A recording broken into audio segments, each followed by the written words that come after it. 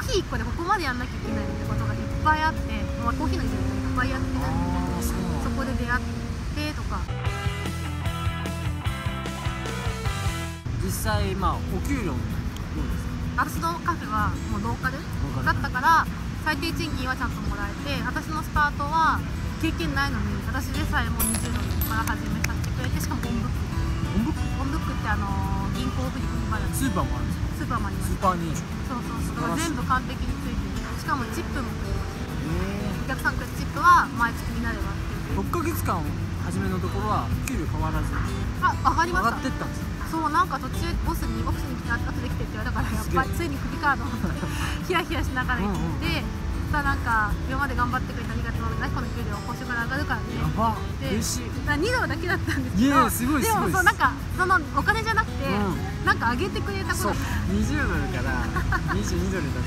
たはいはいはい。それいつになったんですか？おそらく働き始めて3ヶ月ぐらい経ってからあーそれかな初めのそのシフト的なものはどうだったんですか？週5で働きますで大体基本78時間ぐらい。働けるんですね。もうがっつり。そんながっつり。それでじゃあ6ヶ月やってそこからどうされたんですか？また違うそこから、えっと、前一緒に働いてた人がまた違う場所で店をオープンするからお一緒に働かないかみたいなことで声かけてもらえて。うわそれじゃもうご縁ですねいやーもうでもご縁大事ですね。前のところにも来ればよかったあよかった。っていうのが私がカジュアル採用だったんでカジュアルって最低賃金高いんですよ。そうそうそう。だから前のところにも全然よくて土日に働いたらもう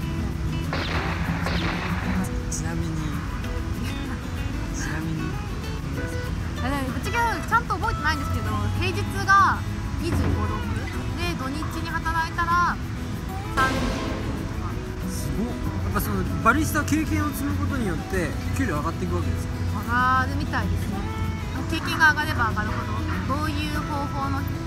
知ってるのかとかどういうマシンが使えるのかとかコーヒーの出る量が全然日本と違うからちんたらちんたら作ってらんない